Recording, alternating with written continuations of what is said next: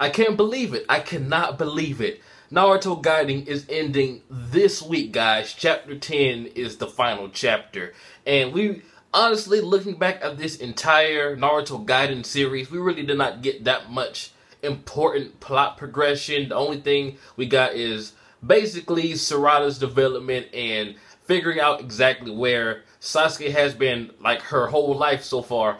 And in the Boruto movie, it seems like the Shin stuff is already resolved. So that's probably going to be taken out in chapter 10. Because after this point, like from what we see in the trailer anyway, granted it's only like a minute and 45 second worth of trailer. There's no Shin in sight. So this Shin business was just to give us some Naruto content before the movie came out, which is not a bad thing. But I don't know. I, I kind of expected this to go on a little bit longer, especially because we got so much epic stuff towards the end. Like, we got Sarada going in chapter 9, Sasuke going the fuck in, showing off his new eye powers, uh, Sakura actually going the fuck in, and I wanted to see Naruto show us that he's still the big boss he always has been well, you know, besides like shadow clones and stuff, because in this manga so far he got messed up. Besides that one epic scene with he in the first confrontation with Shin, but I can't judge this uh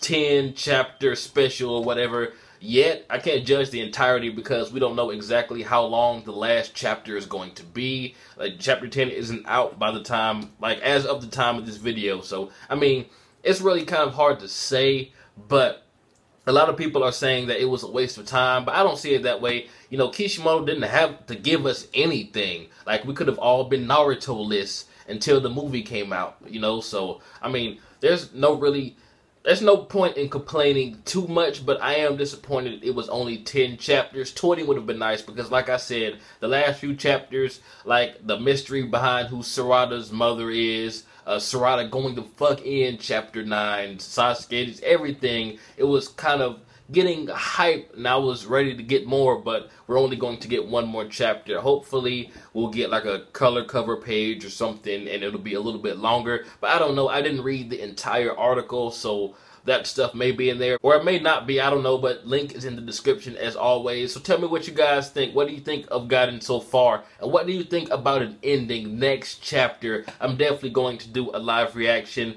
I normally don't, but seeing as this is such an unexpected thing and it's kind of big, um, because we may very well never get another Naruto chapter ever again, but I mean, who knows, man? Tell me what you guys think. This has been JB Chia. Like, comment, subscribe, and I'm out.